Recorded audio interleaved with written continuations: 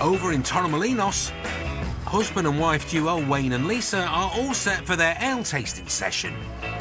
I can see a few of them coming now. This is fun, Wayne. Wayne risks going back to the brewing board if he doesn't wet his sampling squad's taste buds. This is real good. Plus one, I think, as well.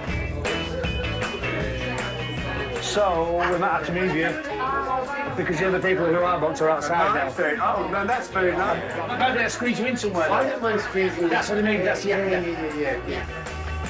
Had a quick word in it. You don't mind moving. We've gone from 20 to 22, which is good. More the merrier. You know, keep it coming. And Wayne needs them feeling good about his new ale.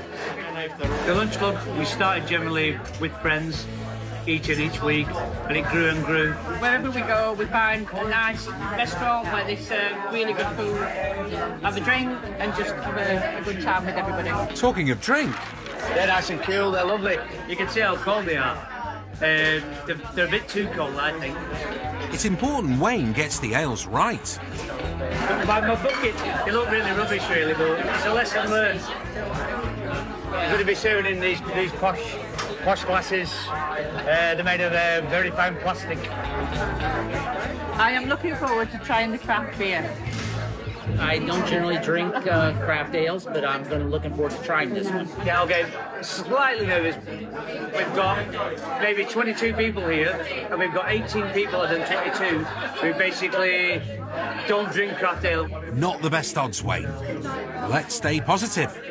The water's starting to go and set into the labels now, so we're gonna have to gonna have to be quick and get them out before the, the labels drop off inside the bucket.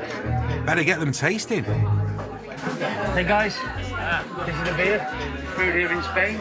Um, it's uh, an amber ale. It's got four malts in this, uh, 6.5%. And I hope you enjoy it. Let me know how you think. Yum, yum. Very proud of them. Chuck it in, and then, you- then you'll get a nice, you get a nice head on it then, because it's, it's so fresh. It comes out like that. Over the next couple of weeks, it'll it'll go like that. I love real ale. I drink it in Cornwall. It's just really nice. Different. The beer is wonderful. It's, uh, I think the uh, hops are from the southern slopes. Really? As the tasting draws to a close, it's time for Wayne to find out if his brown ale's a hit or a miss. Feedback is good. Even the craft ale drinkers who don't drink it have enjoyed it. They've tasted it and they said, "Oh, it's lovely." But it's been like three years in the making, and it's happened today, and it's all gone very well. Which means Wayne can get brewing on cases of his craft ale. in the season next year that we will do very well and we'll just be supplying the whole coast and uh, we're basically going to see if we can get uh, the beer put inside the supermarkets That's a cause for celebration, Wayne. it's been very good very positive